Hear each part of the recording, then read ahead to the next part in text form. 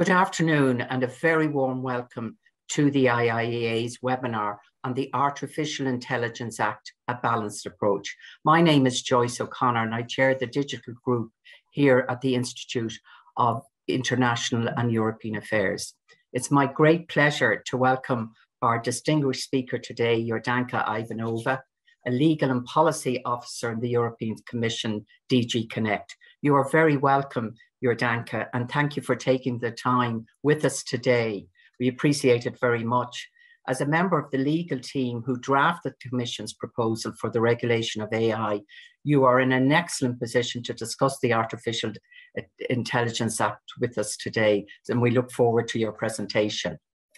Yordanka will speak to us for about 20 minutes, and I look forward to receiving questions from you, our audience, for your Yordanka through the Q&A function at the bottom of your screen. Today's webinar will conclude at 1.50. A reminder also that today's presentation and Q&A is on the record. And please join our discussion on Twitter using the handle at IIEA. The European Commission's draft Artificial Intelligence Act is the first comprehensive attempt at a global level to regulate specific issues of AI systems. It's probably a year ago in April 2021 that the Commission unveiled these regulations in the proposed AI Act. Following an extensive consultation process with all stakeholders, it is now going through the EU legislative process. The proposed AI Act Act is a risk based approach to classify AI mm-hmm. systems with different requirements and obligations according to their intended purpose and level of risks.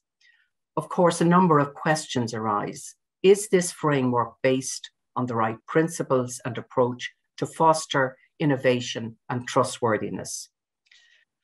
What impact can we expect on AI producers and AI users? The EU Commission believes that the proposed AI Act should become the global standard if it is to be fully effective. Will the AI Act boost uptake of AI and guarantee a human centric approach? Yordanka will outline the thinking underpinning the AI Act proposal, and she will discuss the latest developments in relation to the proposed Act.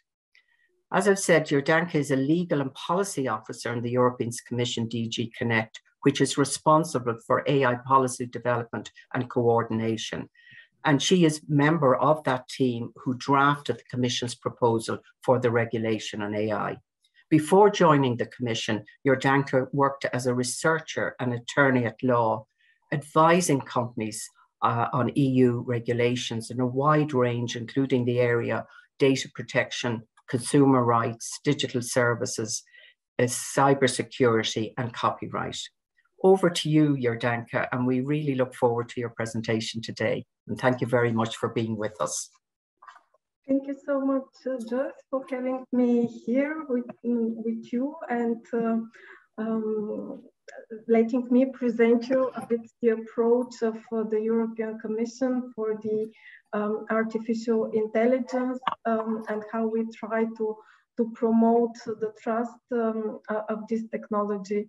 Um, I'm just trying to share uh, my presentation. Apologies for, for the hiccup. I hope you see it now well. Um, and um, yes, um, so it's it's great to be here with you and engage in, in this discussion. Um, as a starting point, I would try to, to say that indeed um, uh, we have the Commission proposal package uh, from last year, but it's um, it's been a long journey before we reach here, eh, and um, artificial intelligence is one of the key priorities for the European Commission, on which we have worked over the past uh, almost four years, and all these started already in 2018 when we had the first strategy. We have also, uh, as mentioned by Joyce, a very extensive process uh, and involvement of key experts, including from Ireland, from research academia in our high-level expert group, which helped us develop the guidelines for ethical and trustworthy artificial intelligence. And all this also led us to the broad consultation process which started with the white paper on artificial intelligence. This is um, an exceptional step in uh, the EU uh, legislative and policy making process because uh, what we really wanted to do with this um, initiative is to engage broadly with all stakeholders and uh, think together how we can achieve our twin objectives, having the uh, right ecosystem of excellence in Europe, which can help us develop this key technology for our digital sovereignty um, that can bring a lot of benefits also for the public, for consumer, for businesses, but also addressing the risks and ensuring the right level uh, of trust um, um, of consumers um, and also guarantee that uh, its use is um, aligned with our values. So with the white paper, um, we had um, extensive uh, feedback from all kinds of stakeholders, more than 1,200 um, um, papers um, and a lot of discussions also with broader AI alliance of experts we have organized.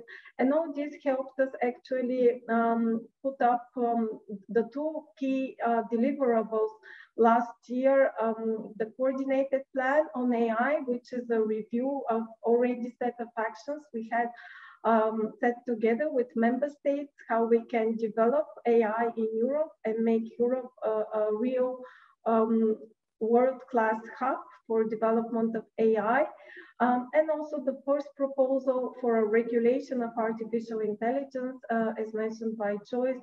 This is uh, the first comprehensive attempt to, to regulate artificial intelligence although we see that now in the international field, there is an ongoing discussion and, and um, um, uh, cooperation actually in, in setting common framework and standards. So we are also working very much together with our partners um, while at the same time um, agreeing uh, those um, actions internally in Europe. And let me very quickly present you briefly the coordinated plan uh, because it is very important. Um, the first deliverable is actually uh, sets out the joint commitment between the Commission and all member states to develop together a very concrete set of actions, how we can um, develop artificial intelligence, make it accessible to companies, to public authorities, to users all around Europe. Um, and here we have a broad set of objectives, um, what we need to set as the right conditions, including in terms of greater access to and sharing of good quality data, fostering computing capacities, uh, collaboration with broad stakeholders, uh, increasing our research capacities, creating also the right testing and experimentation infrastructure with specific facilities we fund, um, and also with the digital innovation hubs, probably you are familiar um, in every member state. We'll have also with, with the new uh, Digital Europe program, even one of those hubs focused specifically for artificial intelligence. So with this, we aim to, to give uh, broad services to all companies, public authorities who are interested to test and invest in artificial intelligence. And then we also have uh, a lot of actions um, in the area of skills um, because human resources are key. We need to keep our talent in Europe, also to upgrade it um, including also to cooperate internationally with partners and focus on some specific high impact areas, uh, as you see here, where we see the highest added value, including in the mobility, agriculture, climate, health, uh, public sector, um, and others. Um, so this is really how we try to create, to encourage, and to invest in artificial intelligence in Europe. But um, as said before, we have also been mindful that certain uses of, of those artificial intelligence technologies, they affect the society. Uh, they, because of the specific characteristics of AI, like bias, opacity, uh, dependency, unpredictability. They can also cause specific risks. Um, and we, our objective is to ensure that this technology is trustworthy um, and um, that it can be, deliver the benefits it promises. So that's why together with the whole set of actions, uh, how we try to promote AI in Europe, we also put forward uh, the first regulation um, where we try to set the single European law, how artificial intelligence in Europe um, can be developed and uh, promoted on the European single market. So we know already that we have a lot of existing legislation um, at place, uh, but as said before, because of the specific characteristics, because also of the legal uncertainty and difficulty actually of effectively enforcing those existing rights, we have seen the need uh, to, to complement this legislation and create a single framework for internal market with common rules how companies um, can uh, place on the market and use those systems. Um, so this is a horizontal legislation. Uh, its objective is to apply across all sectors, public uh, and private, because we think that this is the best way to create a consistent and clear legal framework uh, that also builds trust uh, in the market uh, across the board. And our two main objectives with this legislation is indeed through these specific requirements um, to address the risks specifically to safety and fundamental rights, um, uh, given the specific characteristics um, of certain AI applications, and also to create common rules and a single market in all European countries, um, so companies um, know how they can uh, develop and uh, market uh, in a legally sound way uh, their products in the Union we made an attempt um, really to complement, um, not to overlap with existing legislation. So that's why this should not be conceived as lex specialis for data protection or others. We are really here creating market-based rules for how those systems are actually produced and marketed in the union, uh, but we have also made uh, uh, sure that we are complementing and we are consisting also with, with this existing legislation. Um, and where relevant, we have also tried to integrate specific uh, uh, procedures um, in, in, other sectoral legislation that already uh, uh exists.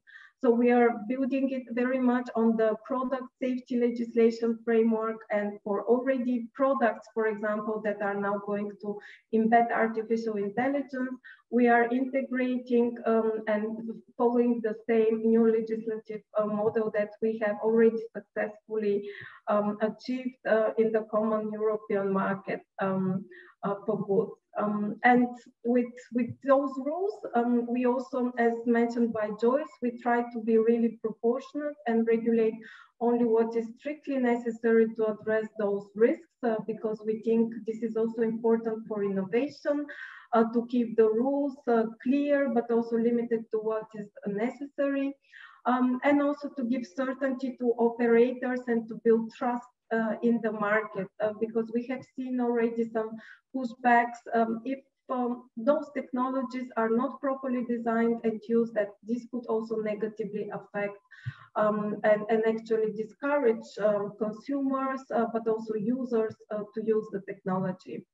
Um, and to keep our rules proportionate, we are indeed following the risk-based approach and we are trying to set a common level playing field for actors who are designing and placing those systems, irrespective of whether they are based in Europe or outside. So the extent those systems are given to users in Europe and they produce their effects on people, um, we apply the same rules, uh, which we think is very also important for the level playing field.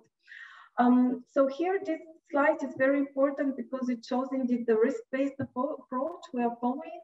Um, because we don't try to regulate AI in general, um, we see that different use cases and applications pose different risks.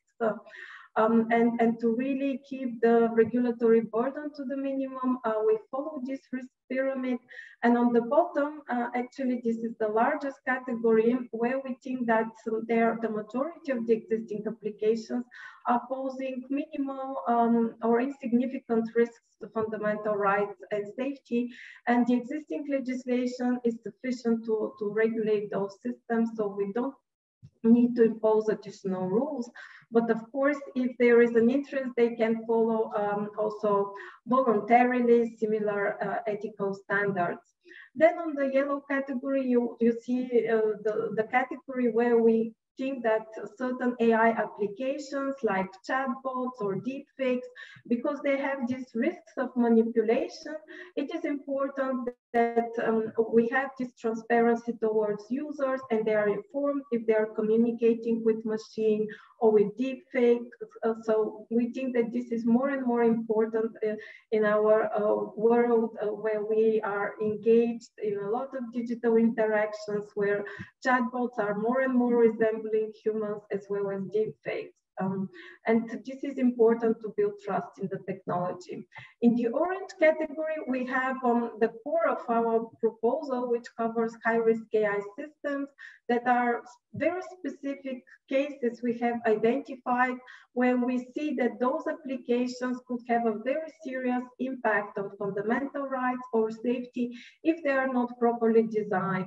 So that's why we propose for those systems specific requirements. I'll talk more and on the next slide for them.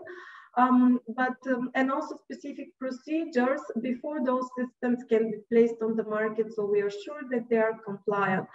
And, uh, and uh, on the top of the pyramid, we also have certain use cases, a very limited uh, four use cases where we think that these are really uses of artificial intelligence which are incompatible with our fundamental values. And that's why it is uh, important to clearly state that we don't want them in Europe.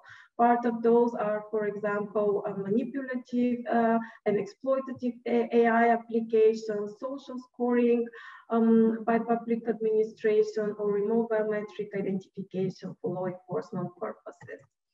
Um, and here I would like very briefly to, to touch upon the, the high risk categories again, because um, this is maybe Joyce mentioned the impact of the regulation. This is the core impact of the regulation actually, because providers of those systems that are um, built in two categories will have to comply with just these new requirements uh, we propose um, and then undergo also these conformity assessment procedures. So here we are trying to give uh, very much legal certainty to operators, if they will be in the scope or not. So that's why we have identified certain uh, AI systems that could be safety components of already regulated products like medical devices, machineries, which are already subject to third-party conformity assessment and also some other systems, um, the so-called standalone AI systems that are broadly grouped um, in uh, eight uh, areas where we see mainly implications for our fundamental rights because those issues have uh, important impact on us as society and also as citizens. For example, um, here you see the broad categories um, of biometric identification, critical infrastructure, certain um, use cases in education, employment, access to enjoyment of public services, law enforcement, migration, uh, as well as administration of justice. But it's important to say that it's not the broad categories. We have really looked and identified specific use cases uh, within those broad categories that will be only subject. And, and we think that it's important to start uh, with small use cases, but be able to uh, build progressively and add more if we see that there are more risks. So let me give you an example here. For example, in the education, it's not all AI applications that can be used in education, but only two use cases, for example, those that are really used already to determine eligibility of people to access education or, or also to, to assess them uh, during tests and examinations, because we think that these are really the most important one. And, and the same one, for example, um, for employment, where we have only two limited cases. So we have really tried to be more proportionate in our approach, but also ensure that this is a future-proof regulation and we can add more along the line. Um, and here we try for those systems to propose uh, some very good baseline requirements um, that are built on, on the best practices that already exist, how, how, to address the risks of artificial intelligence. Those specific characteristics are mentioned, opacity, unpredictability, bias, and, and we build very much on the requirements of the high-level expert group I, I mentioned before. And we propose that uh, it is important to have a risk management process where those risks are identified, to have good quality data so we ensure that the system is not biased and it's accurate, um, to have also documentation and uh, logging capabilities so we ensure this auditability, transparency and also sufficient information for users, human oversight measures, as well as robust accuracy in cybersecurity. And our objective is uh, to support these high-level requirements with harmonized European standards, which will be developed by the European Standardization Organization. So actually, we our objective is to give the right technical solutions to companies how to build, design those systems so they overcome these problems and they really ensure this uh, human centricity and trustworthiness of the application. And then there are also a number of obligations for the providers who are mainly responsible to design, develop, and market their systems, um, and also check them with those conformity assessment procedures before them.